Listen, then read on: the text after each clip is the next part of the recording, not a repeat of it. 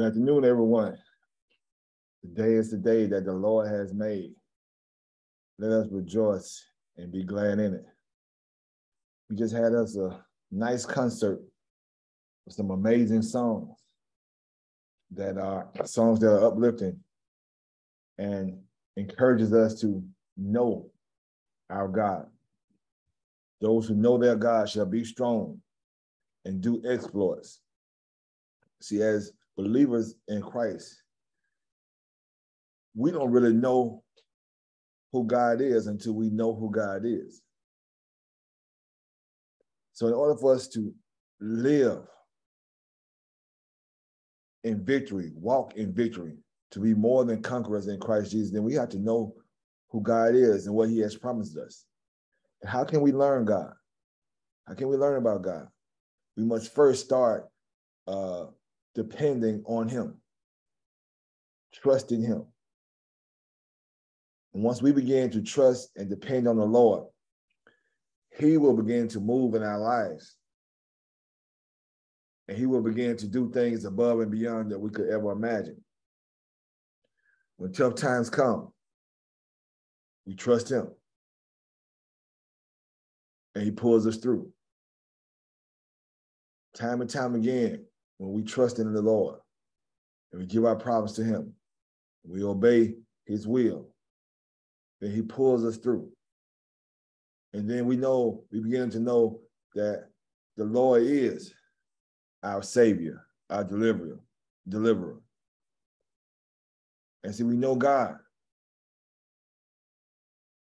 See, when he, he heals us from sickness, we learn that He is Jehovah Rapha when he gives us the victory in, ba- in battle, and we are flying the banner of victory, we know that he is Jehovah Nisi. When he provides for us when we do not have, when we have a lack, and the Lord makes a way out of no way, he provides for us. We know him as Jehovah Jireh. See, the many different names of God were known to the people of God by what the Lord did, what they trusted him for, and what he did for them and then they learned a new name of the Lord because of how he delivered them from whatever situation that they had, were in. Jehovah Nisi, Jehovah Jireh, Jehovah Rapha. See, he delivers. God delivers. So they, that's how they know God. And the more we trust in God, with our faith and confidence in him, the more we know him. So when we look back over our life, and we look at all the things that came upon us in our lives, maybe financial problems, it may be marital problems, it may be friendship problems, maybe um, illness, sicknesses, whatever it, it, it was, the Lord brought us through it. He delivered us from it. weren't always easy, but he did it for us. So when we look back on our life, we know the Lord has never let us down. So what that should do for us is, is it should we should all have a greater and a deeper relationship with God because of what He has done, because of what we have trusted Him with, and what He has done for us. So when the next thing come upon us, the next battle, the next test, test, the next trial, then we won't panic. We won't worry. We'll look at that test, that trial, that, that battle with the eyes of what the Lord has already done for us. And we'll stand firm in who our God is and what he has done, what he has promised to do, and what he will continue to do forevermore. So we won't be as those who don't have a God. See, we should go into battles and face battles totally different than those who don't know God. He has brought us through this. He's going to bring us through. He's brought us through that. So he's going to bring us through this. I've heard the testimony of a believer of how he brought them through a particular situation. If he did it for them, he'll do it for me. I studied God's word. He told me that he will do what we need him to do for whatever particular battle that we're facing. So we trust his word. And when we live in that way, then we are really, we really will see God move in our lives. He will never let us down. And we see the world in a totally different way. See, one thing we must always understand that we are not fighting a battle of, of flesh and blood. No, not at all. See, our battle is a spiritual battle, it's spiritual warfare, not against flesh and blood. See, it's against spiritual wickedness in dark places, against principalities, rulers of the darkness of this world. See, that's who our battle is with. So we cannot look at our battles in a physical way, the way the world looks at it. Because if we do, we always look, it always look to us like we're outnumbered. It always look like, like it's too much for us. See, and then we lose hope, we lose faith, and we lose what God has promised us because we don't see it. See, we live in fear. We heard two songs that were very appropriate for our lesson today. In the middle, see, he says in the middle of whatever he's going through, he can praise God. In the middle, not at the end, in the middle because the battle is already won. The Lord, he knows that the Lord will deliver him. So in the middle of dealing with bad medical report or seeing more bills than money or whatever the situation may be, he, he has praise because he know who his God is and what he can do. And we should be the same. And the young lady, Jekalyn, I'm keep I'm gonna get I'm gonna get it down. Jekalyn, I forgot last name, Carr, I think big. I don't play that several times. You, you guys may be a little tired of it, but I think that song is such a great song for us to hear because what she's singing about is just so what what appropriate for the things that we face in life. He's bigger than it. You look at COVID 19, she said HIV, she said identity crisis, she said all the things. God is bigger than those things whatever they are, he is bigger. He can handle it. He can take care of it. God is sovereign over all things. So no matter what we face in life, no matter how it looks like we have are in a losing situation, a defeated situation, a dark situation. See, we serve a God that's bigger. And if God's on our side, then we have the advantage no matter what it looks like. See, our strength is not in numbers. Our strength is who is on our team, and that's God. So that takes us into our lesson today. It's a great lesson for us to study and to remember. And our lesson title is How Do You See Things? How do you see things? In this lesson, we will one of the main topics will be vision, sight. See, blindness and sight. Blindness means you're living in darkness, You're living without God, the knowledge of God. You're looking at life without God. That's living in darkness. And living and having sight is living a life through the eyes with, with God in our in our heart and in our spirit. And we see the, the world according to the what God says. See, we see things um, spiritually. And that's how we should fight our battles. We have to look at the world spiritually, not with our earthly eyes, not without God, not in the flesh. We have to look at our lives and situation with our spiritual eyes and we see things, we'll see things that will help us fight this spiritual battle because it's not a battle against flesh and blood. So our lesson text is six, I'm sorry, Second Kings, sixth chapter, verses 8 through 23. Second Kings, sixth chapter, verses 8 through 23. with a special emphasis on, on verses 16 through 17.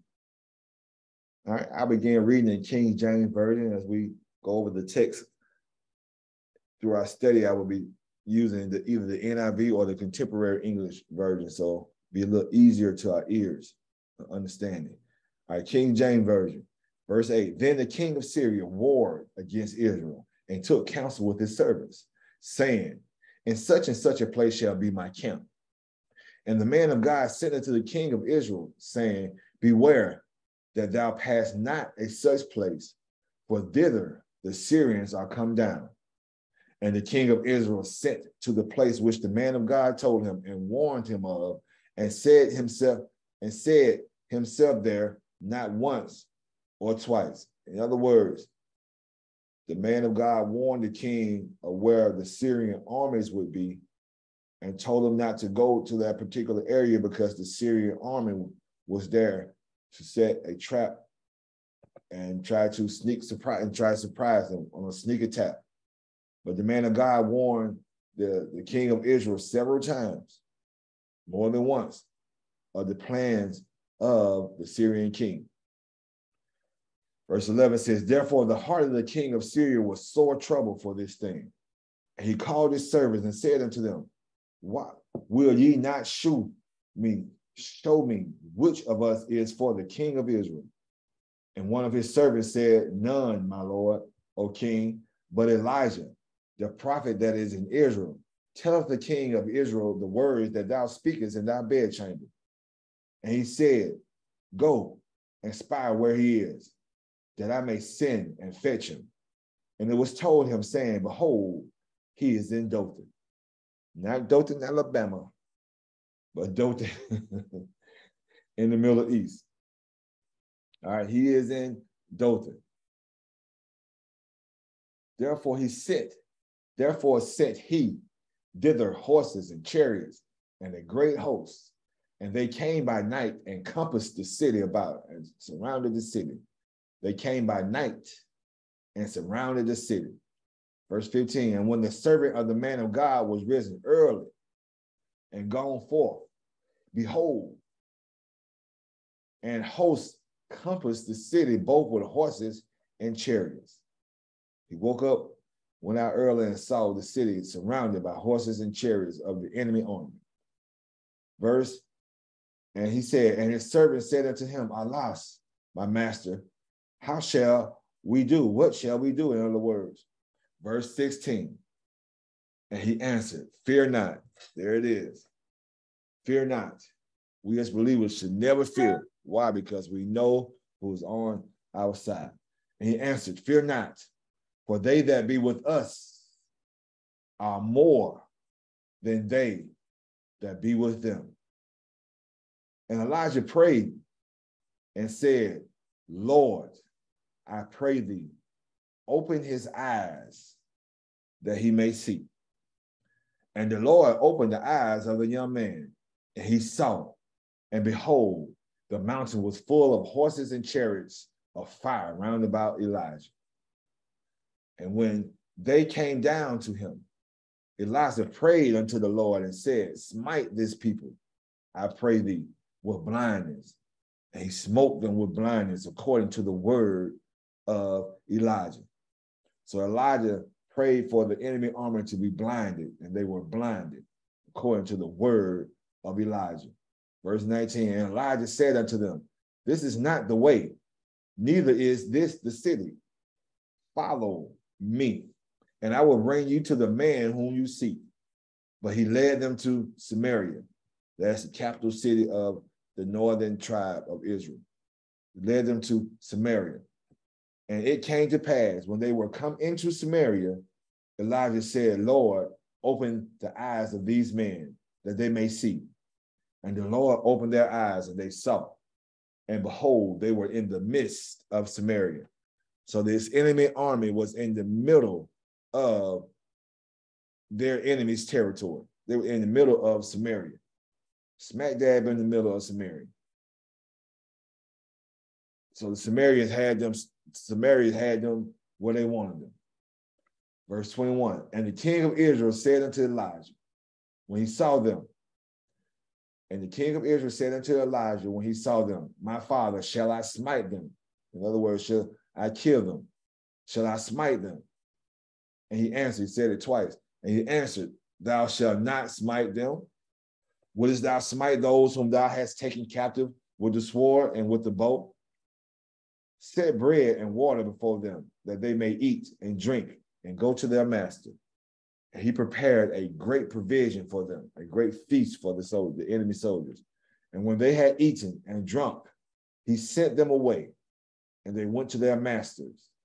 So the bands of Syria came no more into the land of Israel for a while, anyway. After time went by, you see in the very next verse that they, they came back and attacked the Israelite people again.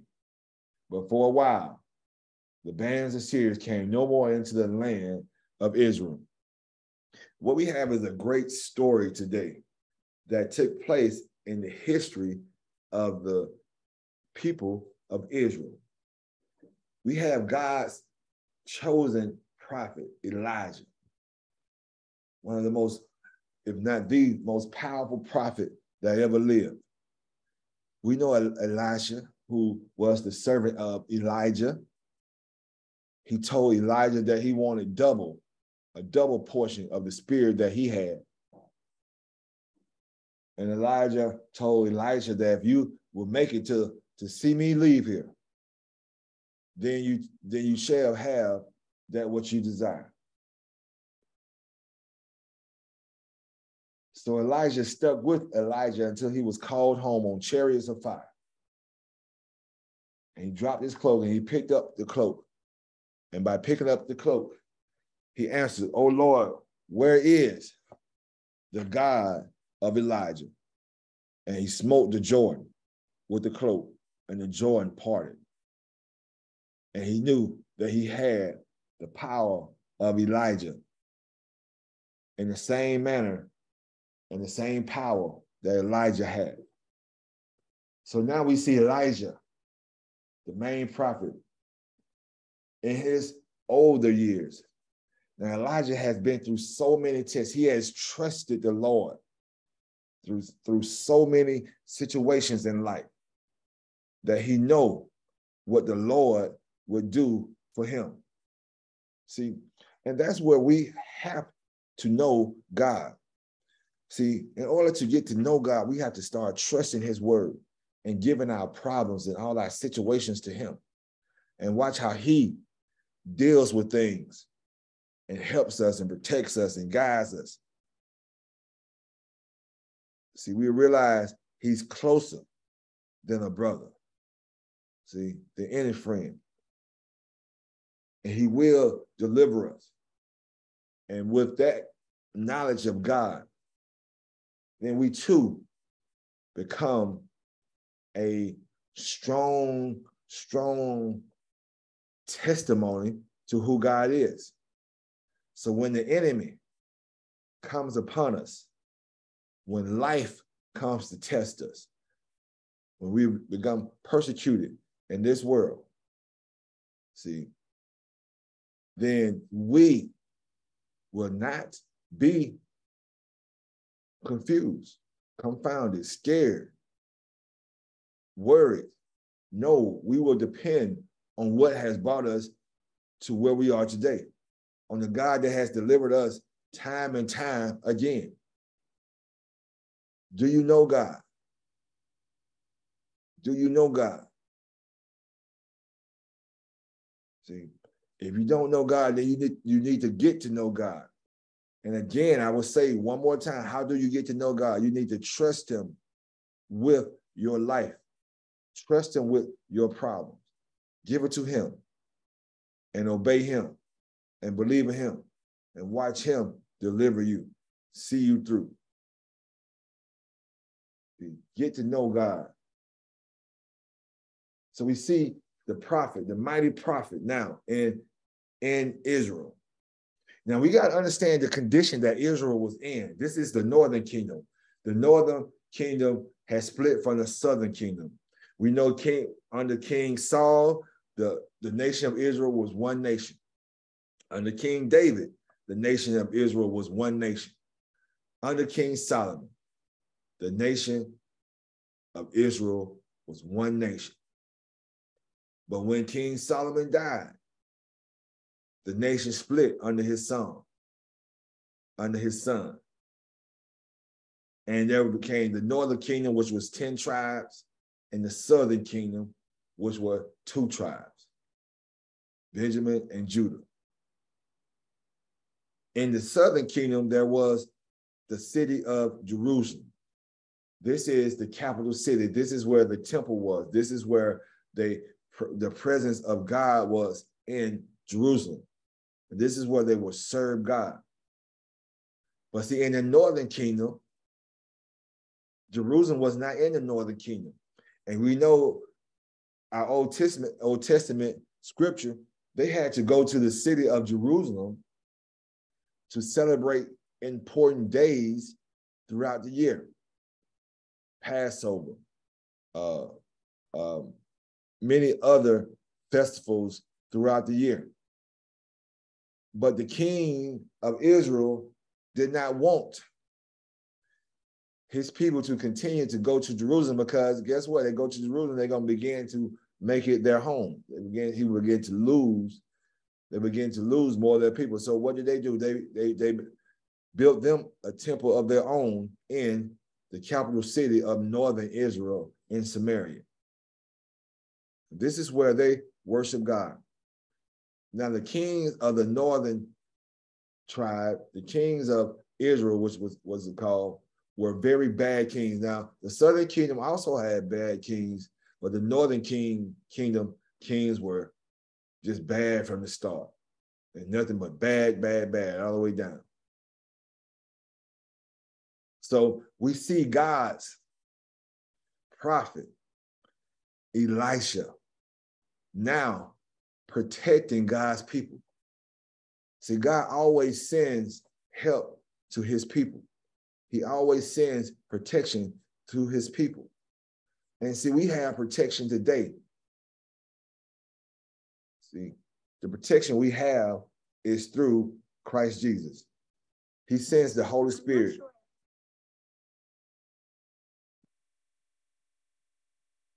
as our guide to help us, to guide us, to, to, to give us what we need to, to handle what we are facing.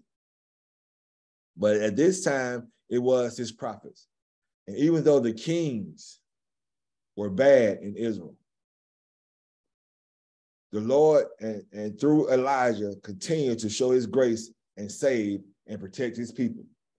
At this time, the northern kingdom was very weak because of their worship of idolatry, because of them living in sin.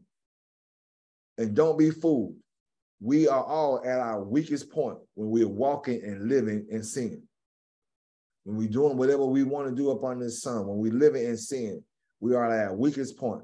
And at this time, when the world around you, when Satan around you, and the world and his demons and his and his imps and all this, this fallen world sees you at your weakest point, they're going to attack you. So the, the Syrian army began to send raids into Israel, attacking his people, raiding their cities and stealing their goods and their resources. So Elijah began to help the army and the king of Israel. When the Syrian king would plot and plan to ambush God's people, he would send, Elijah would, would send a word to the king, telling them where the Syrian armies were and to not go that way, to go another way. And he would do this each and every time that the Syrian army had plotted an ambush to attack God's people. God will send Elijah, through Elijah, will send message to the king of Israel to not go in this particular direction because the Syrian army is waiting for you.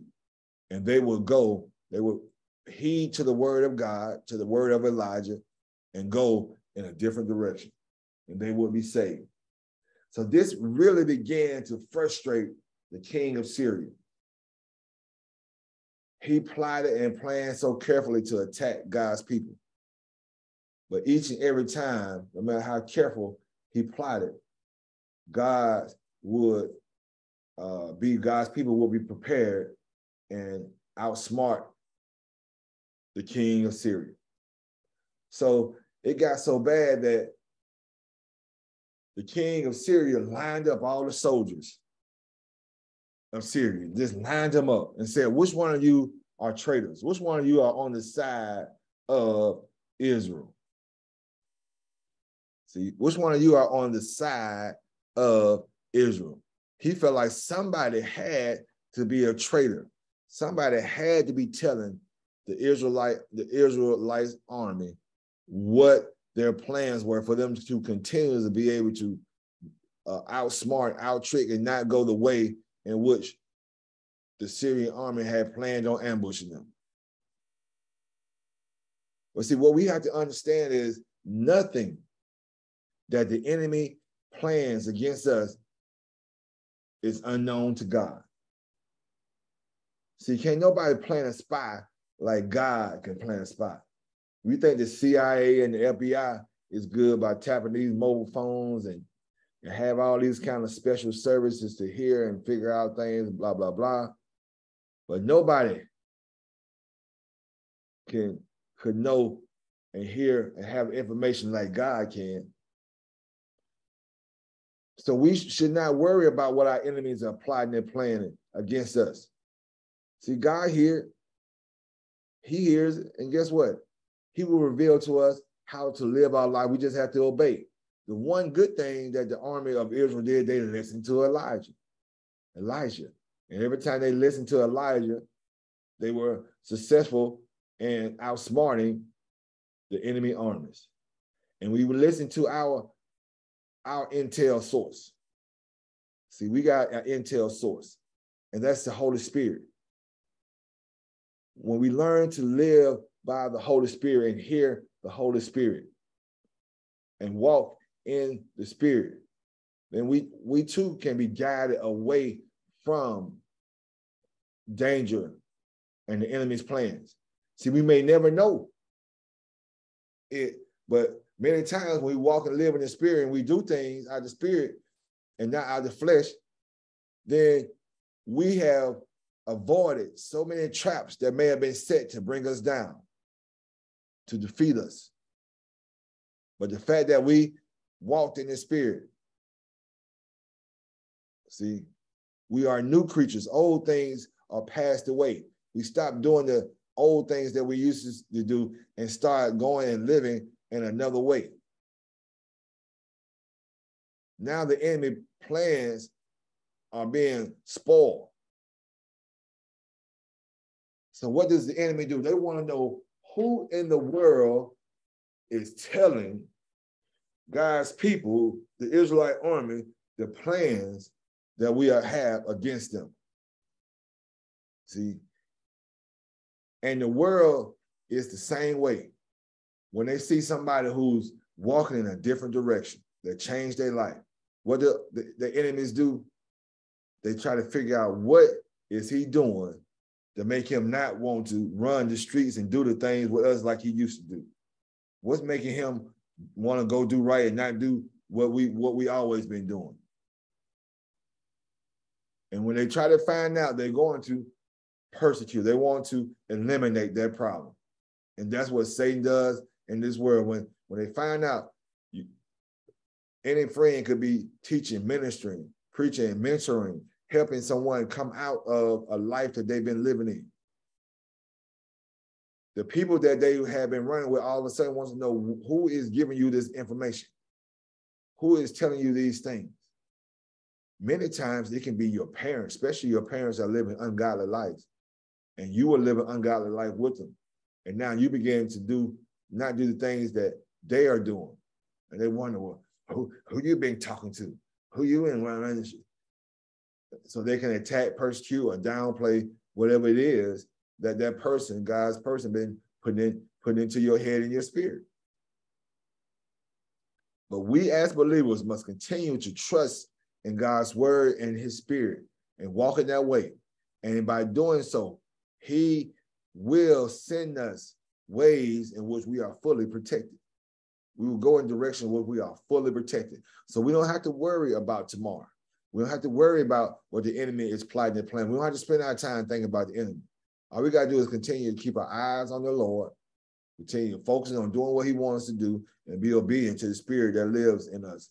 Live in the spirit, not the flesh, and not according to our old ways. See? So the king says, look at what the king of Syria says. As we go um, into verse 9, verse 10. Then we go down to verse 11, which we, we've discussed. Verse 11 says, This enraged the king of Aram. See, that's Syria. He summoned his officers and demanded of them, Tell me which of us is on the side of the king of Israel.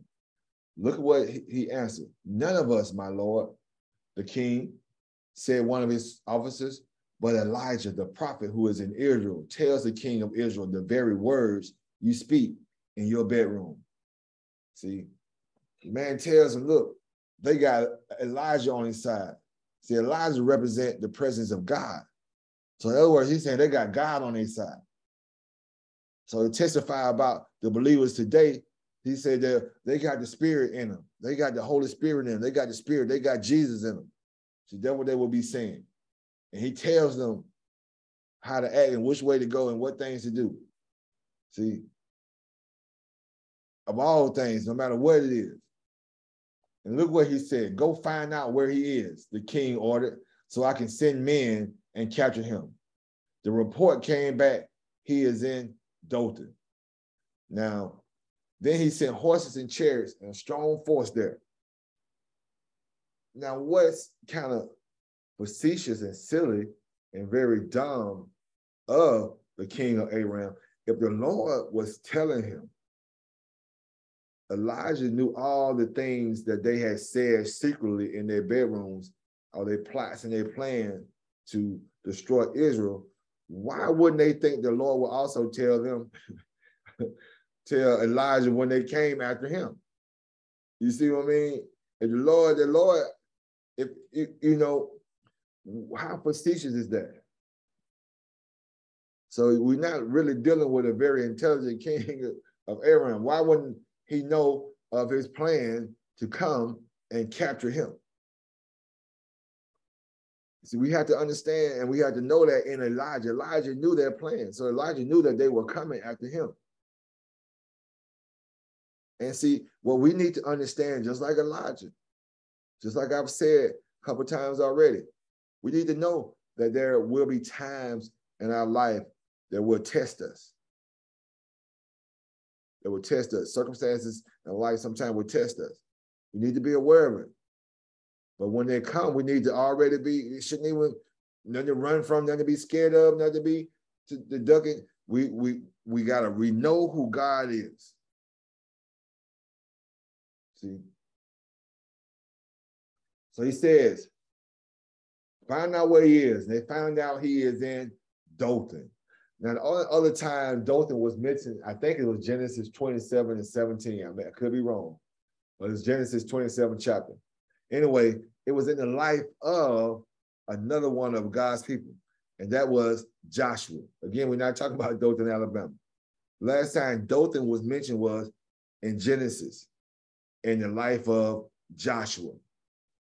See, Dothan means duplicity, hip- hypocrisy, double-minded, double-faced, two-faced. All right, trickery, deceit. That's what Dothan means in the Hebrew language. And both times in the Bible, the two times that Dothan was mentioned, it was trickery, deceit, and hypocrisy that took place in that city. See, Josh, Joshua brother. I'm sorry, not Joshua, Joseph brothers. When they saw J- uh, Joseph coming to look for them following his, his father's order. As they saw him coming into, coming down to see them and find them and be with them, they began to plot against him. Let's look at that dreamer coming down. Let's capture him and sell him and see what becomes of his dreams. So his brothers tricked Joseph and sold him into slavery down into Egypt. And we see here now, again, when Dothan is mentioned, where the king of Aram is trying to trap, set a trap for Elijah. But notice the setting of the trap. This is very important. Very important point. Why would they say it? Because it means something. It says in verse 13, and he said, Go and spy. Let's go down to verse 14. Therefore sent he thither, we'll go into the NIV. Then he sent horses and chariots and a strong force there. All right. He sent his best soldiers, horses, and chariots. See, horses and chariots, that, that's a sign of force, overpowering force. That's a sign not only to intimidate, but to overpower. Chariots and, and horses, a strong force there. And look, what else? They went what? By night and surrounded the city. See, that point is there for a reason. They went by night. Many times, the devil's plans Uh, are carried out at night. They carry out in the midst of darkness. See? See? At night. So many times, criminals, when do they come out? At night. See? In the natural, you can't see well at night. So you can be, the enemy can attack you and surprise you at night. But see, not God's people. See, not God's people. See, we look, we think about examples in the Bible. Judas, he betrayed the Lord and the Garden of Gethsemane when? At night with a kiss. And then right after that, at night, they led Jesus into the courtroom of Caiaphas, the high priest. Then to uh, Pilate, Herod, I'm sorry, then to Pilate, then back to Caiaphas. All this took place at night. See, secretly doing these things. And Jesus said to them, When I was with you daily in the temple, in other words, in the day, neither you did anything to me. Now you stretch forward your hand against me at night. You see what I'm saying? It says in First Thessalonians, fifth chapter, verses five through seven. You are all children of the light and the children of the day. We are not of the night, nor of darkness. Therefore, let us not sleep as do others, but let us watch and be sober. For they that sleep, sleep in the night, and they that be drunken are drunken in the night. In other words, folks do they dirt at night. Verse John 3 and 19 says, and this is the condemn, condemn, condemn, condemnation that light is coming to the world. The, that light is coming to the world. That's Jesus. And men love darkness rather than light because their deeds were evil. Why did they light like the light? Because the, their deeds were evil and their deeds could be seen easily. The evilness of their deeds could be seen easily at night. See, what we have to know is when we walk and live in the spirit, then we are children of the day. And no matter what goes on, we live in the day. So we can see the plans of our enemy because we're looking at things through the eyes of the spirit. But look what it says in the next verse. But early, I love that. But early in the morning, see, the servant went out. What I want us to understand is when we when we are walking and living in spirit, we're doing things for God, we don't sleep all day. We don't sleep half the day away, let half the day go by before we get up and do. We jump up early. See, it says in the Bible many times Jesus woke up early in the morning. See, life is precious. If you're sleeping late every day, all the time, you're wasting a large percentage of your life sleeping.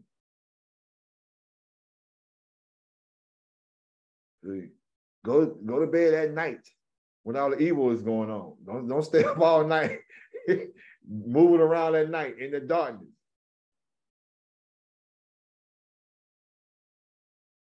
He woke up early. Early. God's people must move early. So much we can do for God by starting our days off early. Now, when the servant of the man of God, verse 15, got up and went out early the next morning, an army with horses and chariots had surrounded the city. In other words, he saw what had taken what they had done at night. It was a surprise attack. A surprise attack. And not just any attack, he saw the most intimidating thing you can see in your life. And what we have to do is relate that to our lives. See, when the, the enemy comes upon and attack us, he comes to attack us with the most intimidating thing that he can find. Job, see, our enemy is strategic. He just doesn't threaten us with stuff that won't bother us. He threatens us with stuff that would really bother us or scare us and intimidate us. He's very strategic. It says in the book of Job, that which I feared has come upon me.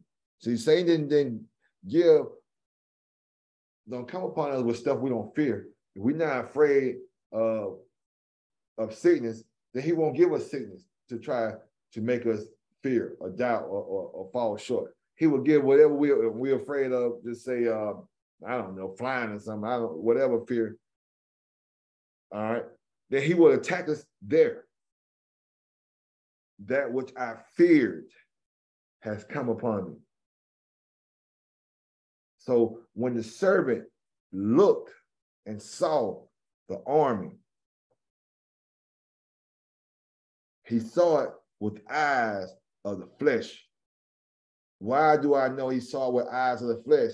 Because he said, he saw he was surrounded. He said, Oh no, my Lord, what shall we do? The servant asked. What was he? Verse 16 tells us what he was. He was afraid. Elijah said, answered, Fear not, don't be afraid. The prophet answered, See, he is afraid and Elijah is confident. Elijah is sitting there just as confident and unbothered. Why? See, Elijah knew they was coming already. He wasn't even flustered. He wasn't even, he knew where they was going to be, the spirit knew he was going to be attacked. He already know what to do. And that is trust the Lord. The Lord is with me. He know it. Why do we know that's how Elijah's think? Because look at what he says next. See, for they that be with us are more than they that be with them. See, Elijah is looking at this enemy not with the eyes of man, of his own eye, or with his own energy, or with his own might, or what he can handle compared to what he was facing. No, he looked at what he was facing with the power and the might and the promises of God. So what he was facing was nothing compared to his God. And that's where we have to look at things when they come upon us, everybody. We have to look at it with not in our might, but in God's might. See, when we when they say this sickness or this such and such, or this and that, this and that, this and that, we don't look at it with our strength, but we look at it with God's might. So we can say those who are with us are more than those who are with them. That is not a physical, that is spiritual battle. See? Knowing the God that's on our side. See, we got to know the God that's on our side. And look what Elijah did. And this is what we need to do when things come upon us. It says, and Elijah prayed. He prayed. And in his prayer, he said, Lord, I pray thee, open his eyes that he may see. Open his eyes, Lord, so that he may see. And when he prayed that prayer, then the Lord opened the servant's eyes. Now the servant is not looking with, with, with his eyes, but now he's looking with the eyes of the Lord. See, with God's promises, God's power, God's might, God's spirit. And now he sees the spiritual. What does he see?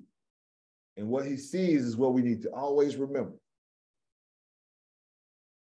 What he sees is what we need to always remember. All right. And Elijah prayed and he says, Then the Lord opened the servant's eyes and he looked and he saw the hills full of horses and chariots of fire all around Elijah. So what he saw was that inside of the Syrian army was a greater army that had him and Elijah surrounded. It was an army of horses and chariots of fire, a stronger army, a mightier army than that of the Syrian army. And they had Elijah and the servant surrounded and protected from all the forces of the enemy. And see, that is shouting news right there. That is the gospel. Because what that tells us is that we have a God on our side that has us surrounded. So when all these circumstances, these tough circumstances, these trials and tests come upon us, we have a, a, a God, we have an army, we have a nation of angels surrounding us, protecting us from what has come upon us in our life. What we have to do is have trust like Elijah to know that our God is present. And he is greater than that which we are facing. Like the song, songs we heard today, we are in the middle. See? And what we're in the middle, we're in the middle, and what we have is bigger. See, what we have is bigger. So when we look at the things that come upon us, we need to stop looking with our might and our strength or according to what happened. Well, everybody else that had this or went through this, they died or they didn't make it or they, they, they got fired or they lost this and they lost their house, they lost their what, what happened to everybody else and what happened, that's them. They may not know God like you know God. Everybody that say they know God don't know God. I'm sure the servant that worked with Elijah knew God, but he didn't know God like Elijah knew God. He didn't know God, he knew of God. But see, after this day, that servant knew God. He knew the protection that God brings. He knew God. See, we have to know God. So that in the midst of tests, trials, tough circumstances, we are, we will not fear. We will be at peace and comfort and safety, trusting in our Lord and Savior, Jesus Christ. See? Just like when they came to arrest Jesus, and we talked about it last week in the Garden of Gethsemane. And Peter cut the ear off of the soldier. And God told him, no, Peter, don't do that. if I wanted to fight them, I could call down uh 12 legions of angels just like that. They're watching over me just like that. See, no, that's not how we fight this fight. See, not with our own strength and might. No. So as we go out today, as we finish and conclude this message, what I want from you to take away from this message is I want you to see. What do you see? I want you to look at your life and your tests and your obstacles and all the things that you have to face in life, not with your eyes or the eyes of this world, but look at it with the eyes of God. Spiritual. So this is a spiritual battle. And then you'll know you are surrounded. What are you surrounded by? Could be chariots of fire. What are the chariots of fire? See, it's God's word. God's word. He that is in me is stronger than he that in, is in the than he that's in the world. No weapon formed against me shall prosper. My God shall supply all my needs through his through his riches and glory. See, those are the things that we have to know and believe in and trust in. And when we're believing and trusting in those things, that's an army around us. See, that protects us. That does not, that doesn't allow what has come upon us to overtake us. See, that's our army around us.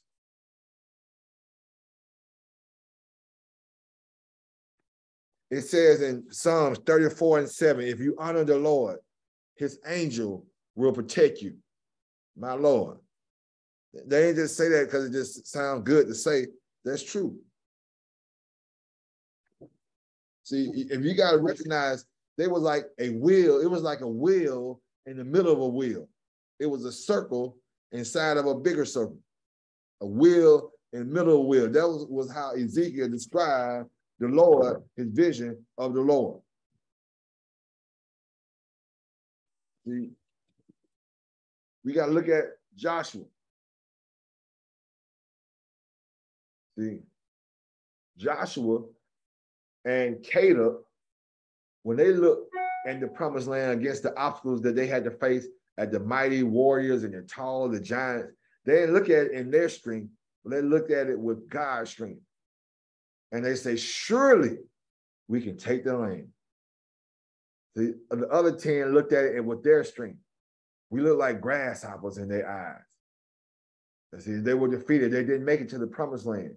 But the two that saw it with the power of the Lord, with God on their side as a part of their army, they said, We surely can take the land. We look at a little 12 year old, 12 to 17 year old kid, little ruddy kid that was taking his brother some lunch. And there's still a giant, a man of war, a giant, who was threatening the armies of the living God. And he said, that surely this uncircumcised giant shall not defeat the armies of the living God. See, when he stood up to fight that giant, he stood up to fight that giant in his strength. He stood to fight that giant upon the strength and the reputation and his knowledge of God. See, he knew God. How do we know he we know he knew God? Because he said, What? My God brought me through the victory with the lion and the bear. See, he bought, he looked back on what the, the, the Lord had brought him through. So he knew God. He said, if the Lord brought me through that, He gonna bring me through this. I'm not scared of this unphilistine giant. And that's the same spirit and knowledge we have to have as we go out and face this world. Because we all will be tested, no matter how good we live, no matter how great we are, how much we stand for the Lord. We will be tested because we live in a fallen world. But God's grace is sufficient our God is bigger. And we're right in the middle of his protection. Let's bow our heads in prayer. Dear Lord, we come to you today, Lord. Thank you for your word today, Lord. We pray that your word find fertile ground, Lord. We pray that we, as believers in Christ, not see with the flesh or with our earthly uh, sight, but Lord, allow us to see spiritually, dear Lord. Allow us to see with in the spirit and know that you have us surrounded Lord, and that we're protected from all, all the things of the devil. See, put on the whole armor of God. So we'll be protected what from the wiles of the devil. Lord, we are protected by your word. And the word is our weapon, is our sword of truth. See, we are protected. So, Lord, let us stand firmly without fear. Let's let us go and do the things that you will have us to do. Let us live the life that you have planned for us to live. Let us walk without fear. Let us be bold in living for God, Lord, but let us be humble enough to know that it's all you and not us, dear Lord. We will be sure to give you all the credit and the glory. Lord, I pray right now for healing on the bodies of those who are sick right now, Lord. And if you heal their bodies, Lord, you, you know what we also come and pray for each and every time. We also ask that you heal their spirit as well, so we all can be made whole. Lord, I pray these things in your son Jesus' name. Amen. Amen, everybody. I'd like to thank you for joining in on our weekly iBelieve Bible study. Pray that something is said that blesses your walk in Christ. Thank you so much. I appreciate you. Man, be blessed, everyone. Thank you. Thank you. Thank you for joining today. Wow. Amen, Reverend Evans. Thank you so much, Lizzie, for joining in today. God bless. Everyone, you have a blessed week. Have a safe Labor Day. And uh, go Hornets. I love Amen. It. Thank you, D. Yes, go Hornets. I love saying that. I got, I'm gonna get used to it. It's gonna take me long. At the end of the day, do you bleed black and gold because That's right. That's right. I am an alumni. I tell people I am an alumni now. Don't right, uh, and you are alumni. Promoter, so I am. I'm official. I tell people don't don't get it twisted. I am official. That's right. right. Have a good night. Have a good night. Thank y'all so much for joining. God bless.